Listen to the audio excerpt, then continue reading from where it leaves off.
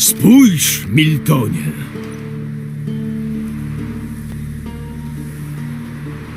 Geralt! We własnej osobie. Witaj, Wiedźminie. Chodźmy do środka. Trzeba godnie przywitać starego znajomego.